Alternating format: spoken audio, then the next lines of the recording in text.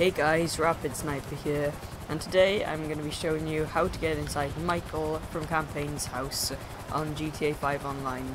So you will need a helicopter for this, and you're just going to want to land on his roof, but not on the in the middle of the cross, in the middle of his roof. Then, if you don't know, his house is located here on the map, and then for this glitch, all you're going to want to do is stand on the middle of this like cross thing, pull up your phone, and accept a job from uh, Lamar or Simeon.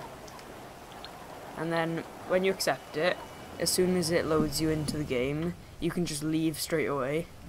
And then you should be spawned inside his house. And I will be showing you how to do this with Lester's Warehouse. And it's pretty much the same, just a little different. And as you can see, I've left the job and I've spawned inside Michael's house. And this is the same as on single player. It's just his house before everyone leaves because there's nothing on the mirror and stuff. And yeah, if you found this glitch, if you found this video helpful, please leave a like and subscribe. And I will see you in the next video.